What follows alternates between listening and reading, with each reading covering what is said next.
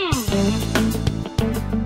Witam wszystkich w kolejnym odcinku jak przygotować surową płytę MDF pod zalanie żywicą. W tym odcinku pokażemy jak taką płytę pomalować farbą epoksydową podkładową. Ale zanim zaczniemy malować, to dobrze jest sobie obliczyć powierzchnię naszego elementu, po to żeby wiedzieć ile przygotować składnika, czyli farby. Do obliczenia niezbędny będzie kalkulator, który jest dostępny na stronie głównej naszego sklepu pod nazwą Kalkulator zużycia żywicy. Przy powierzchni 1 m2 zużycie farby oscyluje w granicach od 200 do 300 gram, malując oczywiście wałkiem i zakładając że grubość nałożonej powierzchni to około 0,2 do 0,3 mm.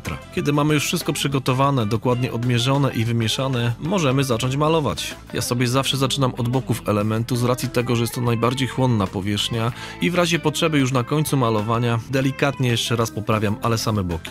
Farbę starajmy się nakładać grubą warstwą, oczywiście tak umiejętnie, żeby nam się nie porobiły zacieki. Czym będzie grubsza warstwa i dokładniej pomalowane, tym będzie lepsze krycie powierzchni. Malujmy w taki sposób, żeby tej farby z płyty nie zbierać przy okazji pociągnięciem wałka. Tak się dzieje, jak już zbyt dużo razy przejedziemy wałkiem w jednym miejscu lub też farba jest za gęsta.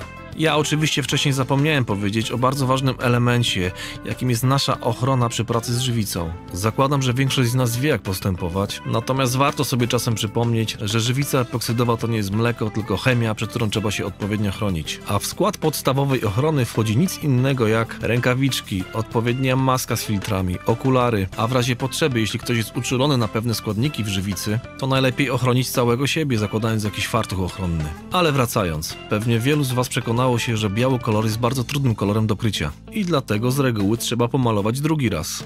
Tutaj akurat korzystamy z farb o szybkim czasie wiązania, około 3-4 godzin. A jeśli po tym czasie okaże się, że nie jest dokładnie pokryte, malujemy drugi raz. I tak jak wcześniej wspomniałem, bardzo ważną rzeczą jest jak umiejętnie malujemy i jakie mamy do tego narzędzia, bo w dużej mierze od tego zależy jaki będzie efekt końcowy.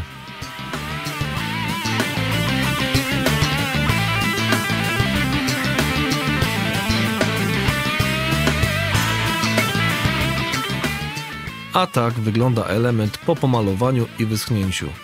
Jeśli na powierzchni pojawią się jakieś delikatne nierówności z wałka, to tym bym się w ogóle nie przejmował, ponieważ docelowa żywica to wszystko powinna przykryć. Ewentualnie można sobie delikatnie przyszlifować powierzchnię papierem o drobnej gradacji.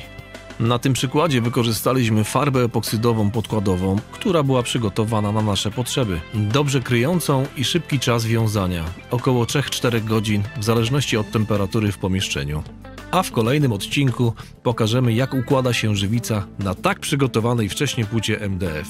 Pozdrawiam i do zobaczenia.